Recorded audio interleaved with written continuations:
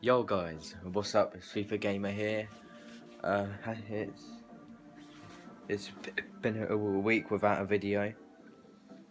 Uh, I'm trying to think of what to play now because I don't have any more new games. I'm I'm gonna get Black Ops 4 when it's when it's sales or something. So I'll play that. But I'm actually playing Fortnite at the moment. Loads. I mean, some of my videos are Fortnite, um, but, but it could be W W maybe World War Two and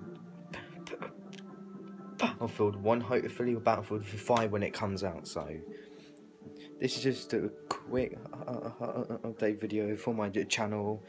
Um, make sure you, you like, subscribe and hit that notification bar button for more of my videos.